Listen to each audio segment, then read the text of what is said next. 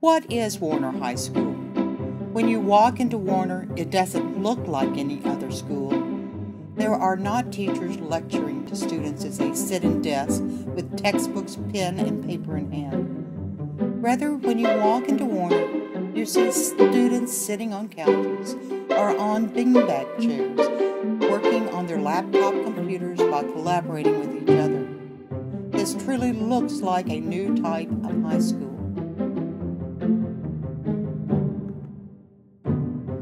In the spring of 2005, a group of educators interested in creating a virtual school met with George Warriner, the coordinator of instructional technology with the Sheboygan Area School District. Interest in online learning had grown among educators within the district. However, George had another vision for a high school of excellence, a high school built on rigor, strong relationships between students, parents, and advisors, and a high school that, whose coursework was relevant to the students' lives. A high school that would have personalized learning plan for each and every student, whose students would be doing online coursework, attending a seminar in 21st century skills, researching an interest of theirs to produce a project called an Encore Project and attending job shadowing or internships in the workplace to get that real life learning experience. His vision was to find what students love to do and give them the opportunity to do it. As George and I were on a district committee that many years ago, before it even got started, just coming up with the idea of what we were going to do for a virtual school. We went to the school board and we spent you know a couple years trying to figure it out and the time was not right and it got put on the shelf. Well, George didn't let that stop him. You know, the cool thing is then he went on and got his doctorate and he became more came back even more determined. So it's really cool to see someone's dream become a reality you know, so George is a perfect example of you never give up, that you always go for your dreams and your goals. So I'll always, I'll always have that with me, and I can always take that with me. You can see, you know, all kids are different. They all have some strengths, they all have some weaknesses, but we can target our instruction uh, to them, not to simply a group of kids. His inspiration for our technology area was always think outside the box. I think that was a philosophy he had for many, many years, and he became more vocal about that concept. And then coming up with a logo that took a lot of effort on many people's parts. And that was really Kate, if I remember correctly. Kate Yes, went out Kate. and found the penguin. Yes, she did. And then we said, And we all yes, chuckled. or I said, Penguin, yes. yes, yes. Because it was different. That was part of his outside the box concept.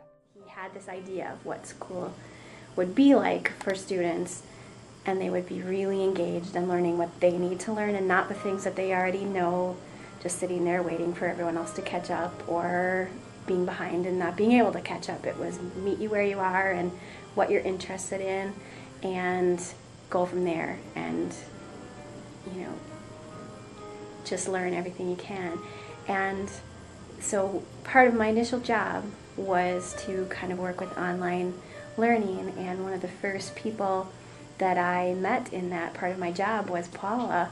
And um, she was very excited about about online learning. I think there was an article in the paper that drew you to call george and he said why don't you call this paula and see what she wants to do? And we started working on the online course and then we showed it to the administrators one day, and Joe said, Joe Sheehan said, "What can we do to make this happen?"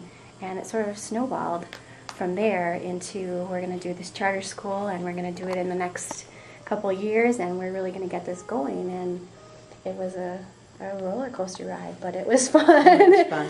So- Do you remember that very first meeting when we all met up here with George? yes. And we were all sitting around the table and he was asking us what do you think this school should be like what do you and he didn't say any of his ideas but somehow we got as we threw our ideas out, it all kind of formed itself into the vision that he had. And it was so neat to see him sparkle as we put together what he was envisioning. It was it was really powerful because we all contributed to it, but it was his it was his vision, but somehow he fed it to us in a way that made it grow within the group, and it was really it was incredible. The, the big picture school uh, was a great was a powerful inspiration for for George, and then for those of us that went to visit, um, they just really capture the um, the passion of students and um, teach the basic skills through a passion that a student has. And so we brought that element into Warriner High School, and I think we still have you know work to do on that because it's incredibly time time intensive and and people intensive and work intensive to do that. But um, I think that was it was sort of magical that I think that's how George was already thinking. And then when he found out about the big picture school and how they were doing things, he was like, "This is what I want to do."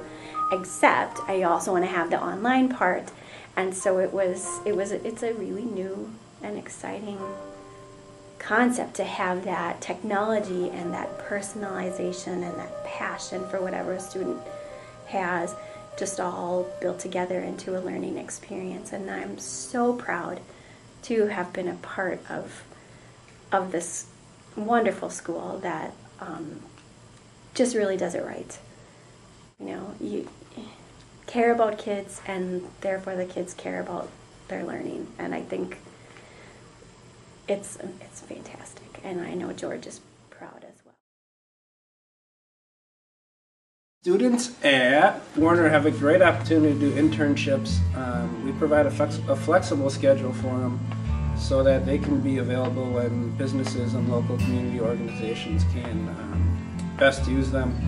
And really, the focus of internships is authentic assessment um, and learning that gives them a chance to explore careers and opportunities that they might be interested in um, when they graduate from Warriner. So really we're trying to give them a plan going forth once they leave and graduate our high school. Thank you.